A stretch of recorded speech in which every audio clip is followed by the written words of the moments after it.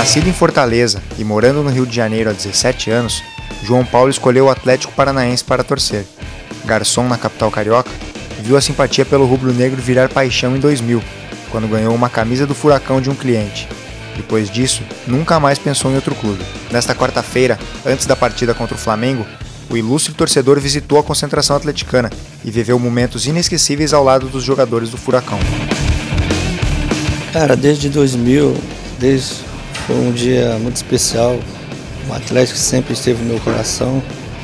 E não tem nem palavra, né? Eu tomei.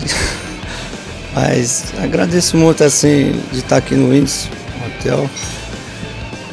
Muito surpreendido. Olha, vendo pra, pela televisão, vendo a arena pela televisão já é uma coisa muito boa.